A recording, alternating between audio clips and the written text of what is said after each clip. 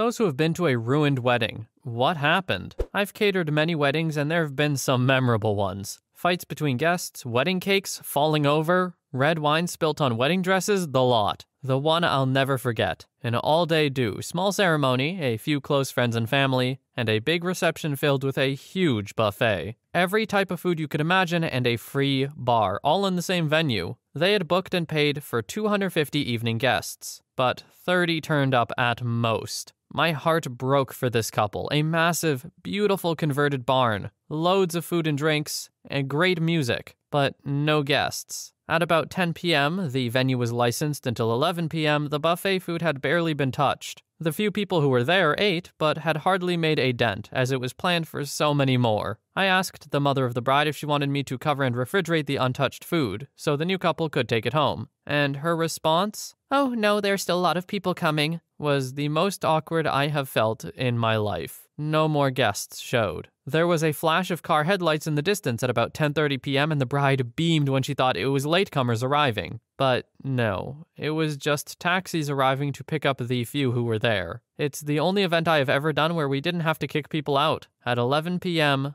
the place was empty. In a nutshell, bride's parents paid for the day, and the happy couple had zero control over their guest list. Her parents invited all of their friends to the evening function, but in reality, it was just associates they wanted to flex on, resulting in no one giving a crap about an invite to a wedding party where they didn't know the bride or groom. It was basically just a networking event for the bride's parents parents really should just not give as much input or have as much influence for weddings. If these Reddit stories have taught me anything, it's that. Parents, despite popular belief in many cultures, do not always know best. They often act on their own selfish impulses just like the rest of people, because guess what? They're human too. I feel really bad for the couple whose wedding was essentially, uh, well, the reception was essentially ruined. Because, yeah, 30 people showing up over a guest list of 200, it's not a good ratio. We now have a Discord.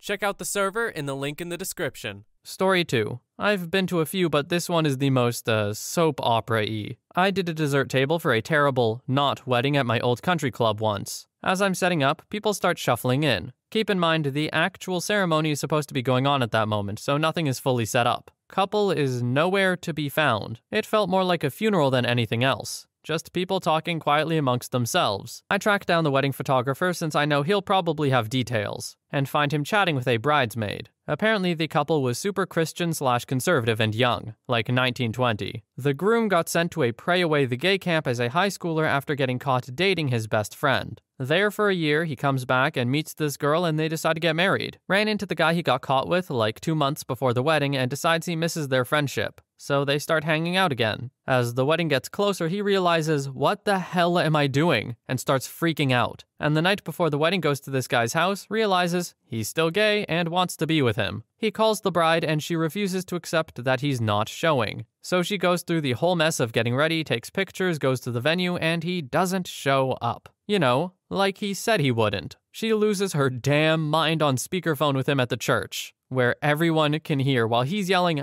I'm gay, I like men, I love him, and my parents can't force me anymore. This isn't about you, and you'll thank me in the long run. I got to agree with our resident gay boy here. She absolutely will thank him in the long run. I can only imagine how terrible it would be to be married to someone who you think loves you and then them all of a sudden being like, actually, no. You're not even in like the right category for me to love you. Sorry. Because let's be honest, it's gonna happen eventually. These kinds of things don't get bottled up for entire lives. At least not anymore, and not that that was ever healthy. Story 3. Groom got so drunk the night before he couldn't make it to the altar at the ceremony. They still had the ceremony with only the bride and her party, plus one of the groomsmen, who apparently didn't get wasted. Everyone there was shaking their heads the entire time. The groom did make one singular appearance for a few seconds at the reception. He looked like a zombie and was wearing street clothes. And this was no trashy wedding. The bride was a professional dancer for a major label pop star, so that gives you an idea of the type of people that were in attendance. 200 plus people at the ceremony alone,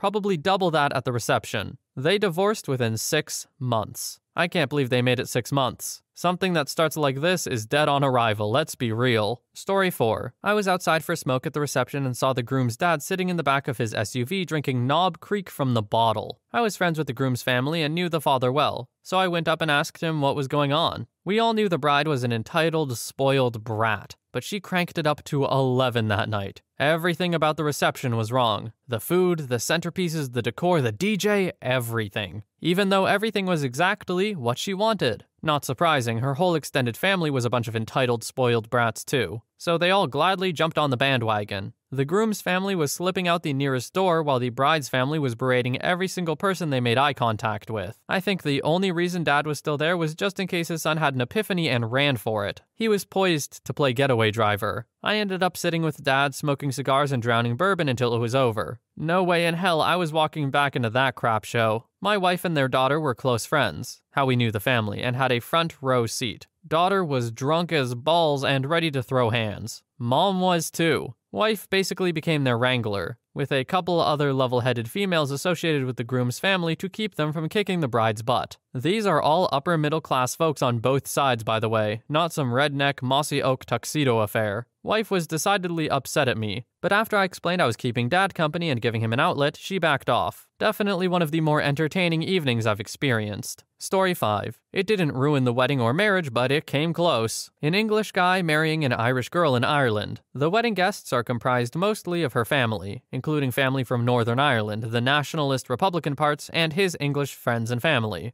The wedding part goes off fine, very romantic, nice ceremony. But then at the reception, the time comes for speeches, specifically the best man. The best man is a particularly red faced Brexit voting English man. He proceeds to make the most insensitive, offensive speech filled with jokes about recolonizing Ireland one woman at a time, and how the stag party had been a good Friday, but the hangover was so bad it led to a bloody Sunday. You get the idea. He wraps the speech up by making a comment about how the speeches have gone on so long that it's like the guests are on a hunger strike. Throughout all of this, the English groom and his friends and family were laughing. They thought it was hilarious. Her Irish family were all fuming. I was there as a plus one of one of the bride's cousins. It was aggressively awkward, and a lot of her cousins and uncles just refused to mingle with the groom's family at all. I'm no longer in touch with the guy who took me, so I don't know how the marriage is going. The bride was very kind, and despite his best man's speech, the groom seemed like a nice enough guy. Story 6. I was best man at my sister in law's wedding. Stepped in for the brother of the groom. That's another story entirely. For a whole year of planning, all the bride, sister in law, wanted was a dove release while they said handwritten vows to each other. Very small, non denominational, most of the family are atheist anyway, wedding. Day arrives, early summer, and something is off with the bird handlers. They show up a bit late and are sourcing help from the wedding party to get everything in line. When the time comes to say their vows, I help the handler carry the chest with the doves in it, over to what is to be the altar where the bride and groom are standing.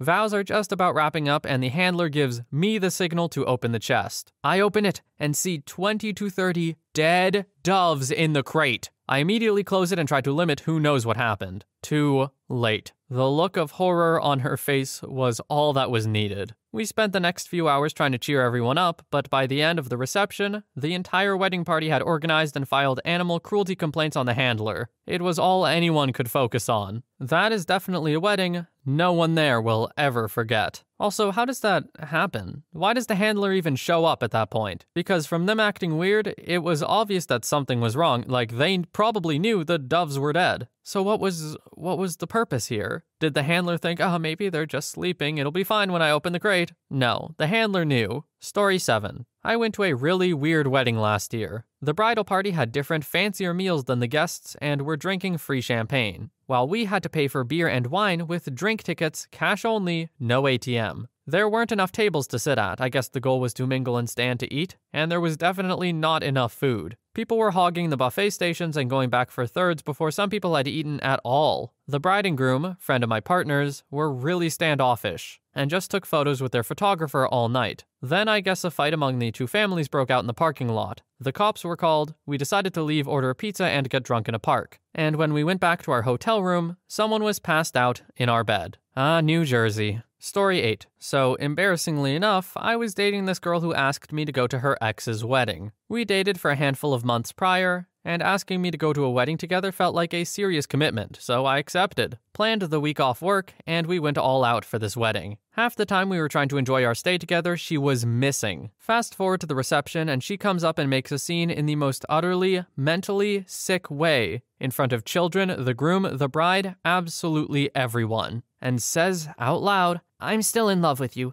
We literally have been screwing for the past two days since we've seen each other. She quickly gets escorted out. The bride is clearly upset, and everyone goes about their business. But as soon as I leave, this woman that I fly two and a half hours with starts ruining the hall and everything else, getting so upset on her way out. It was so embarrassing. I figured she was telling the truth since she was missing this whole time. And I'm pretty sure that everyone during the whole thing assumed that this was too crazy to be real. It felt so weird and awkward. I felt a lot of my time was wasted and more frustration than I could imagine. But by the time I left, I was able to leave early, I felt a heavy burden being lifted. Definitely regret not seeing her mentality before, but when you work so much and try to date at the same time, you have very little time to get to know some people. Time sort of flies by and then it's been months. Fast forward a month or two later. She got together with the groom and I'm pretty sure she has no regrets about wasting my time. She probably doesn't even feel bad about using me or even ruining that man's marriage. That woman is seriously twisted. How can someone do that and have it work out? Like this woman was obviously going there with the plan to get back together with her ex, right? And it and it worked. That should never work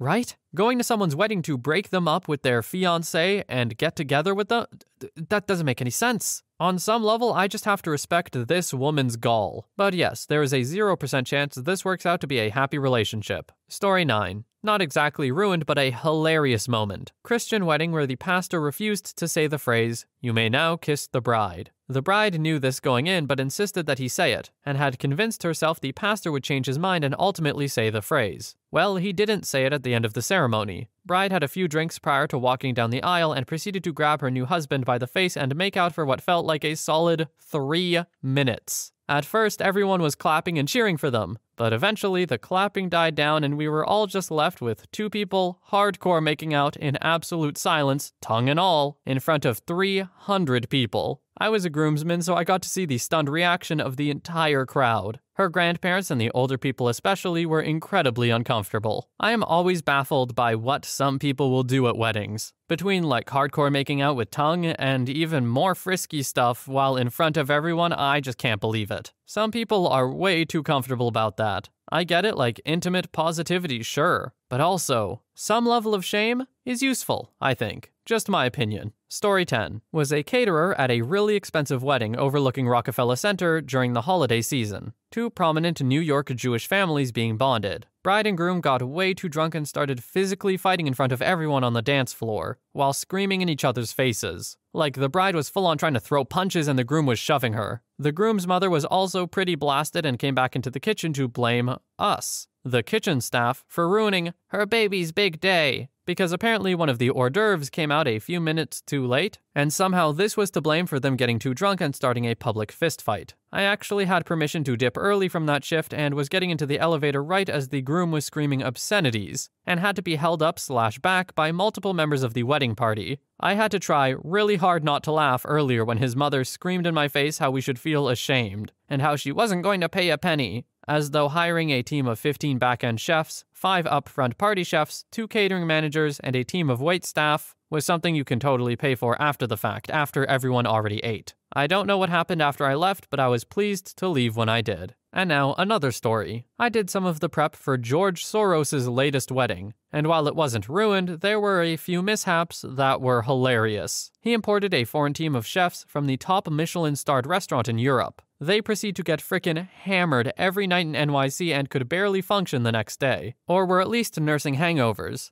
and half asleep for the first few hours they were there every morning. They were back to normal by the second half of the day. This went on for weeks. Free vacation from Mr. Soros as far as they were concerned. I was a lowly kitchen hand and this big shot chef was nice to me though, so I thought he was rad. A lot of chefs are raging jerks, and this guy patiently taught me how to break down Alaskan king crab when I admitted I had no experience with such a task. stealth edit. You would be surprised how many chefs function while drunk on the job as a regular modus operandi. We had a few chefs who got sent home and were well into the six figure mark a few times while I was there. Like work all day, drink all night, not go home, and come back to the kitchen at 6:30 a.m. and pass out in their offices. The Europeans didn't do this though. They at least went home to their hotels before strolling in the next day. Alcoholism and other forms of drug abuse are real issues in that industry. Anyway, back to the story. Soros wanted all of the herbs to be fresh, so he actually had us buy an entire room full of potted herbs and edible plants that I had to rotate and water for weeks leading up to the event. None of that made it to the wedding despite the plants being in good condition. We gave them away to staff after the wedding. The funniest bit was that one of the main dishes was imported lobster tail that I personally had to help prep for hours on end, and the staff forgot to cook it. So at the last minute, the chef, the imported big shot who was hungover, decided that it was going to be served raw and that he was just going to play it off like it was his intention all along. Soros apparently complimented him on how he had never heard of that before, but it was absolutely great. And this guy was a culinary genius or something. The weddings of the super rich are incredibly wasteful. There was a team well north of 100 people for just one of the nights of Soros's bash. And that was just from our company. That's not including all the people who actually prepped the food before the day of the wedding. People like me who spent literally 8 hours just breaking up Alaskan king crab with a cleaver while standing in a freezer. Story 11. My dad and stepmom's wedding was a crap show. For context, her family was terrible on both sides abusive father, neglectful alcoholic mother, and step parents who didn't care about her much. And she basically ran to my father to get away from it all when she was 15. Baker problem was my dad was 26, also abusive and just a real frickin' crap show of a person.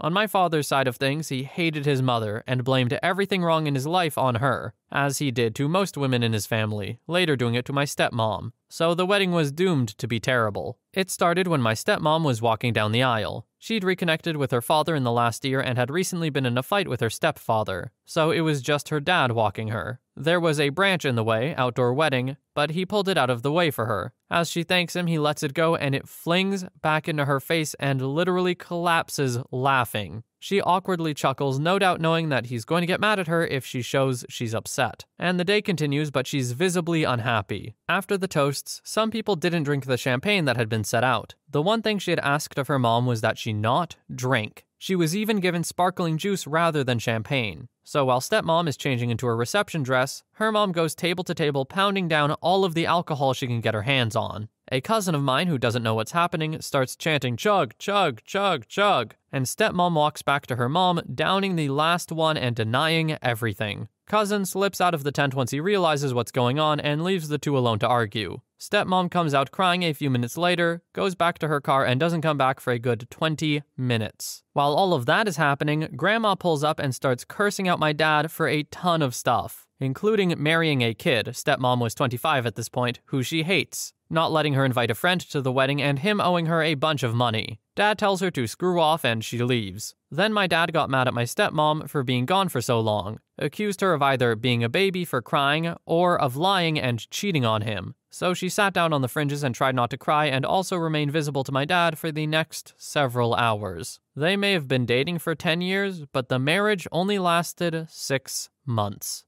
For anyone who's in a relationship that resembles anything what Opie just talked about, get out now. You cannot fix the person, it's just true. If people have issues this dramatic and are that controlling and frankly abusive, then it's not going to work out. They are not worth your time. You're a great person, I just know it. Anyway, thank you for watching, and have a great rest of your day or night.